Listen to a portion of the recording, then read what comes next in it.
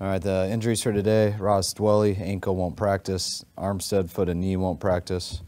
Um, Burford, knee won't practice. Luter, hamstring won't practice. Elijah Mitchell, knee won't practice.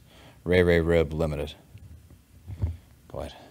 You mentioned the other- you mentioned the other day that you get more information on Armstead. What, what is kind of the prognosis now? Um, it's not an exact, I mean, it's not a num, it's not ACL, MCL, nothing I would be able to remember to tell you guys. So it's, I'd be surprised if he's ready this week. Um, still haven't ruled him out yet.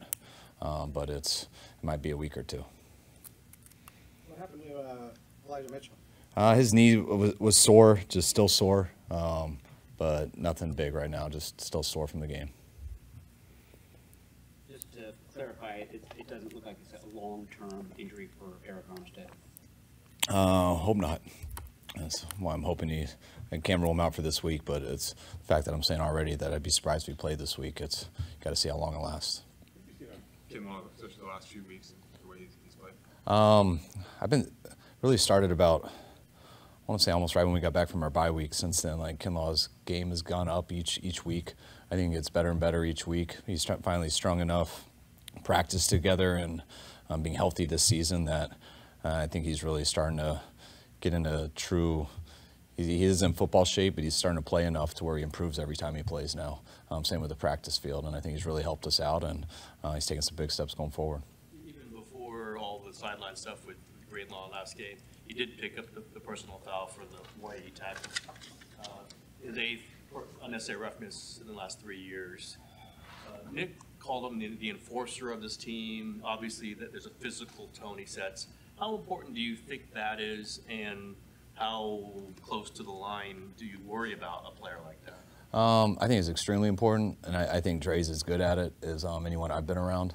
Um, I mean, I think Dre is our enforcer. He's our most physical hitter. Um, we got a lot of guys who hit, but I think it's when he shows up more than others, which when his own teammates say that, I think that's the respect they give him. Um, I think Dre is unbelievable at it, uh, how physical he plays and how hard he goes. Um, the fact that it always looks close, but I, I know how hard Dre. Dre is not a dirty player at all. He plays one way, and he's very. He is always. That's why he was so frustrated, because he is trying so hard not to break the rules. In his mind, he wasn't completely slamming a guy. He's guy's three yards in bounds, and he's trying his hardest to get him down. And he, everything he does is physical. And if you can see at the end, he he tried to let up at the last second. It happened to be it was a lighter player, and um, Dre's pretty strong. Now he should have been penalized for that. You can't slam a guy.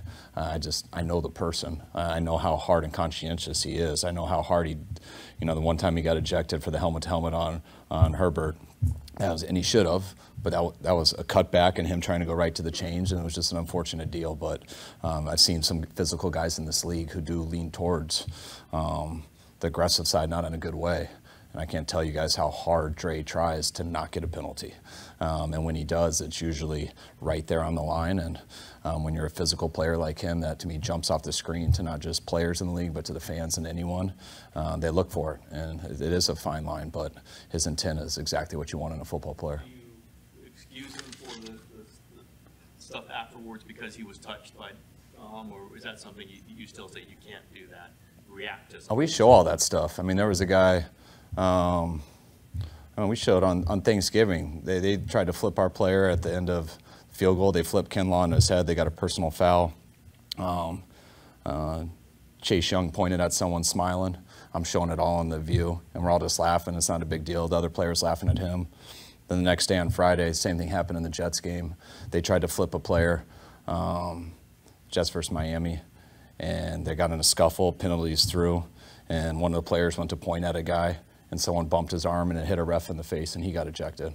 And so I'm, I go back and I show Chase why his point is a big deal. His intent's fine. You're smiling, you're laughing. You don't get how close this stuff is that you accidentally hit someone in the face and you're out. I, I was shocked. I stick up for Dre that he was put in a situation from somebody that didn't have to do with the game. That's what bothered me. Um, when I look at him, I don't think he still don't think he punched him in the face, but whatever that was, it's not allowed, and you can't you can't give anyone a doubt, especially in a physical game like that. What happened last year, I know how hard the NFL and the refs are going to make sure it doesn't get carried away. Um, so that's stuff we talk about all the time. If you get a penalty, you're wrong.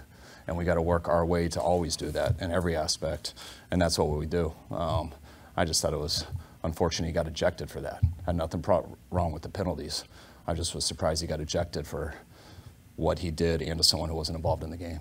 that he has developed like a reputation unfairly and doesn't get the benefit of the doubt in those like 50-50 moments.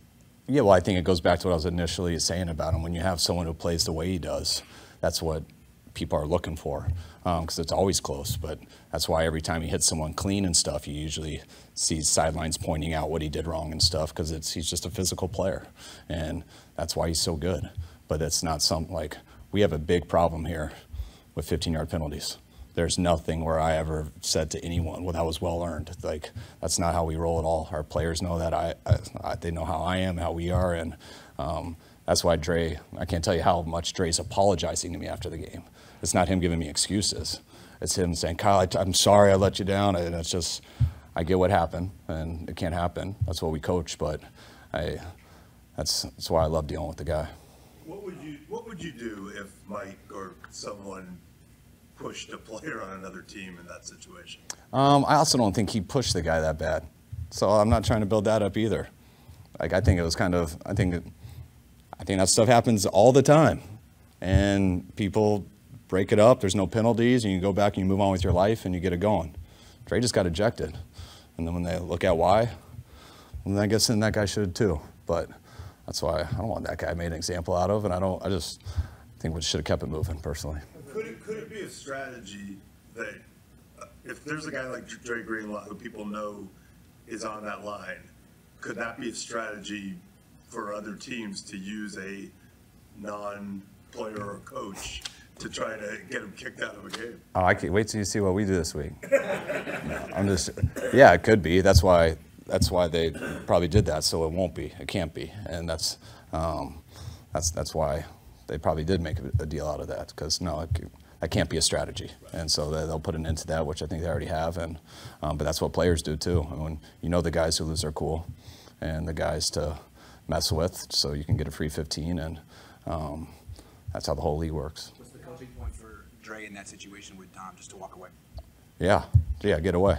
And that's easier said than done, but that doesn't matter. The whole thing is, is you got a penalty, and you got a penalty before that, and which I get is he wants to explain that to me too, and I can look in and see what he's saying. I know when someone gets slammed and how it is, and he does that the last second. He's a pretty strong guy, and they should call that. Um, but I also know uh, when you get a penalty, you're at fault. If Chase the week before would have got ejected because he was pointing, smiling with a guy in Seattle that it was all love with, he probably knew, and his hand got bumped and he hit a ref and got ejected, that's his fault too. Like it's it's the heat of battle. They're not. No one's trying to screw each other. You're just those guys are trying to get it right, and it's intense, and that's why we just want to play football. And football's a physical game. Uh, but when that whistle's done, the football play is over. Um, so let's stop doing anything else. Uh, League sent a memo uh, reminding coaches what sideline behavior is allowed, and have they assured you that Dre's not facing suspension right here? Um, I'm not sure. I haven't checked my email yet, and I, I never have in my life. But people are bringing me one, important ones, and I haven't got that yet. So maybe today, but no one's brought it to me yet. He's, he's out of the clear of any suspension. I don't know. I don't. I, I would assume so, but yeah, I haven't. I don't know yet. Kyle, you- you'll be pleased to know your, your team is atop a lot of NFL power rankings. Um, And it's It's great. congrats. Uh, But it it is similar to like when you guys whipped the Cowboys and, you know, everyone's like, got you in the Super Bowl. And I know Lynch and some players have alluded to the fact that, you know, it's just human nature to kind of feel like we're really good, and you are. Um, But, you know, maybe that led, that was at least a little part of it through losing streak. Do you have to address that, or do you plan to address that? Yeah, I talked to the guys. I mean, I talk I talk to them always. So, and it's, I think people know from that experience how that felt, and I don't think that's why we played bad, but I don't think it helped us. And that's just, I mean, as Bobby T and my dad say, that's why people sell papers. I say that's why people try to get clicks, um, but everything's going to be extreme. I mean, you're going to be either really, really good or, or really, really bad, and that, that's just how it works. And that's what's great about our league, but that has nothing to do with us. And I mean, that game, I know the end result looked really good, but you guys saw it could go any way. Um, I mean, they brought in a one score there in the third quarter after Dre got kicked out. Um, there was easily could have been down 21 to zero after the first quarter. Uh, there's a very fine line there between two to five plays, and it ends up looking like the game got out of hand. But it's it's very similar to the the um, Thursday night game versus Seattle. Um, that that was a close game. Luckily, our defense um, stayed strong there in that third quarter rally. Um, but that was right there, and just a couple plays, and then it doesn't look close. But they're always close. Deebo is the first receiver since Jerry Rice for this organization to be named NFC Offensive Player of the Week three times. How special is he to the 49ers? Uh, Deebo's awesome. I mean, he's, um, I mean, just as you guys know, he's a special guy when he gets that ball in his hands. And um, him and Jerry are probably wired a little bit differently how they play the game, but um, they both played at a high level and really helped the Niners out a lot. Kyle, on the, uh, on the Deebo tunnel screen, uh, when I watched it again, I saw that uh, McCaffrey really sold the halfback toss. And I don't think Deebo scores without that play fake on the backside. Did you show that to the team this week? And, and is that your guys' culture or is that all CMC? That's our culture, but um, when we point that all out, and when someone doesn't do it, they we point that out also. So guys have pressure on each other to not let the other guy down. Um, but I will say Christian is the best player I've ever been around without the ball in his hand. Just the little things he does that are so obsessive.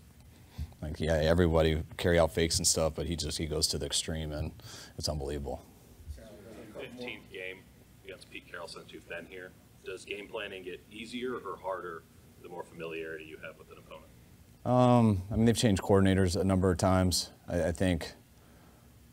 I, I think easier would be the wrong word. I think we both understand how our teams are going to be, um, so it's you don't have to overcomplicate things too much. Which I guess when you don't overcomplicate things, it makes it easier. But it's not as in either of us are easy to go against. We just I know what we're going to get from them, and I think they know what they're going to get from us, and uh, that's why it's going to be a battle. Feel of Logan Ryan and what, what can he add?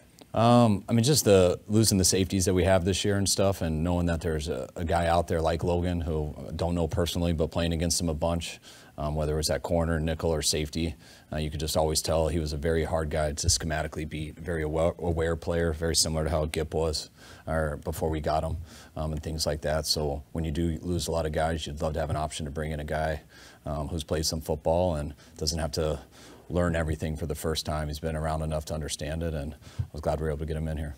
I know you, I know you love grinding uh, punter tape, but with Mitch, how, how, how much of an impact is he making on this team, especially given kind of the limited opportunities that, that he's getting? Mitch is huge. I mean, I don't know the stats. You guys check him out because they're awesome. But like, how many punts he has inside the five or ten compared to the to the next guy? Um, he's been so automatic with that. How hard his punts are to catch, the way he can knuckle it and things like that. And um, he, he's been a stud this year. It's been really good.